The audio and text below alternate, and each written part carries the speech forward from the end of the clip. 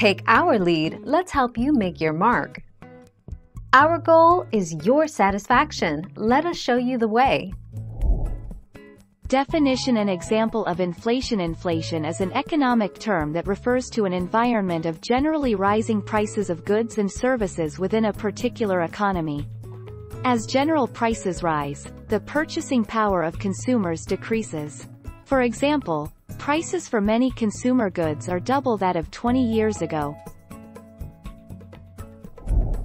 Thank you for watching. Please subscribe and hit the bell notification.